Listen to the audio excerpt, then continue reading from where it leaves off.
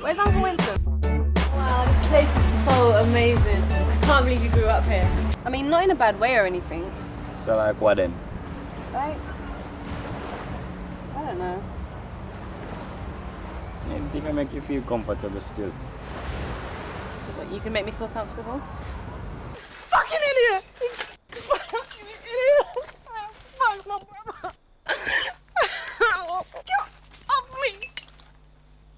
It was my responsibility, don't you know that? Oh what am I gonna do if something happens to him? Think positive and say my right now. How can I think positive? But you can't control everything.